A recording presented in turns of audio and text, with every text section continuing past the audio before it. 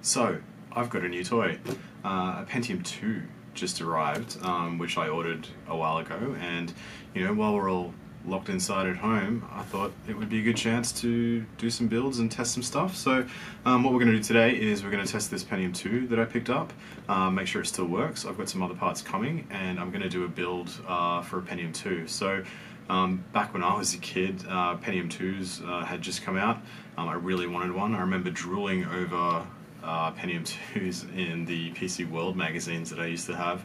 Um, I always wanted uh, Pentium 2. Um, I think I had a Pentium 100 hand me down at that point, and that was my main computer. It was okay for some DOS gaming, but you know, seeing the stats and the the reviews of the Pentium 2s in the magazines at the time, I really wanted one, but unfortunately, I didn't have any money to get it, so I missed out. But now, I've got my very own Pentium 2, so let's take a look.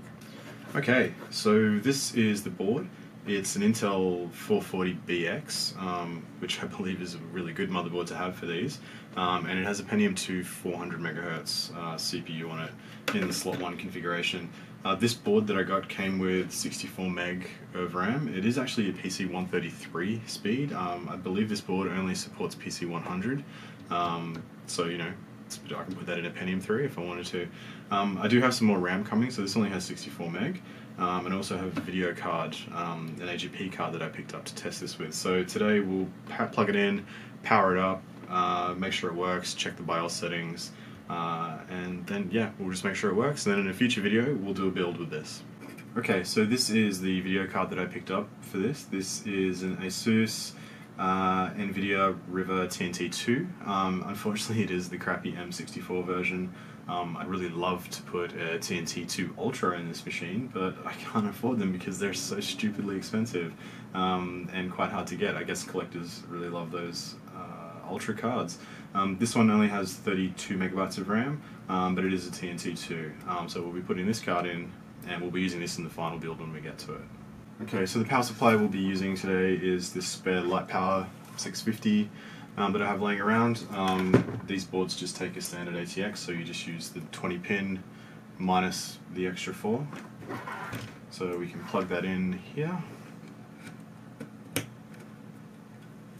Um, I don't have any hard drives or anything to plug into this today, so we'll just be doing a BIOS test.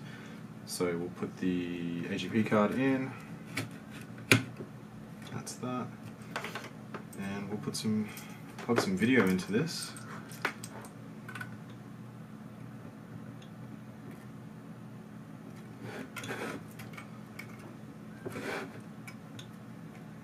Alright, let's fire this thing up and see if it works. That's a good start. We have the motherboard manufactured by Intel Corporation splash screen. I Can't say I've ever seen that before. I have never used a 440BX motherboard before, so I wonder if you can turn that off. I always turn the splash screens off. not a huge fan. Okay, so we have Phoenix BIOS um, version 4, release 6. Um, the 440BX-2 motherboard, Intel Pentium 2 processor at 400 megahertz, and that is 64 megabytes of system RAM, but you can't see the left side of the screen because it's cut off on this great LCD screen that I'm using. So, date and time settings, password checksums, CMOS bad. I have a feeling that the CMOS battery in this is flat. Uh, that's okay, it's a CR2032, so that's easy to change. So let's have a look in the setup. Okay. Yep, Pentium 2, 400 MHz, 512 kilobytes of cache RAM, 64 meg installed. This is definitely not the right date, so let's test this. It is the March the 30th, 2020. And the time, oh we don't need to set the time, that's okay.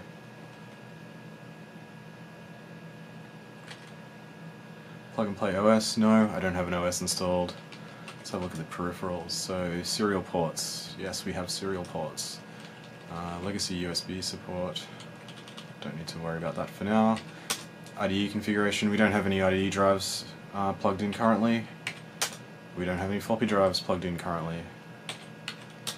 Event logging, you can view it. So CMOS checks on memory, and it can't find the floppy drive, of course. Everything else looks okay. Video configuration, AGP memory size up to 64 meg. We've only got a 32 meg card in there, uh, and obviously default primary video adapter is AGP. Uh, we can set our interrupts and our memory configurations, which we don't need to do right now.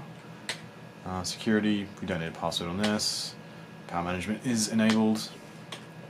Um, boot, diagnostic screen. Let's turn that on and have a look. Let's turn off quick boot. See if that gets rid of this splash screen. Um, that's disabled. Yep, everything else looks fine. We could boot it off a USB drive, but I don't want to do that today. So let's save that and see what happens. Hopefully this gets rid of that Intel splash screen.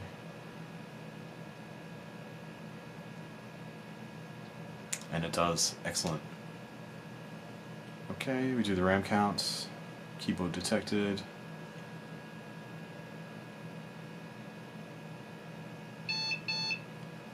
Drive A error. To be expected. And then obviously it won't boot because there's nothing to boot from. Alright, let's see if we can save our CMOS settings. So if I turn off the power, I'll, um, I'll leave that off for a minute and then we'll come back.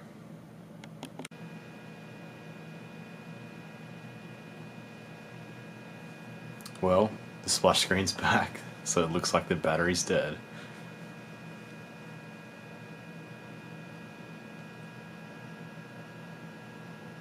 Let's see. Yep. Same problem as before. Date and time, password checksum, CMOS checksum bad. So this CR2032 battery is definitely dead, so that'll need to be replaced. Um, we'll do that in a future video when we do a build. Alright guys, that's it. We've tested the board, we know it works, we can do a build. I'm waiting for a few extra parts to come and I'll get a new battery. Um, then when we do the build video, you can see it again. So thanks for watching. Remember, if you like what I do, uh, like the video, subscribe, and I'll make some more videos. Thanks.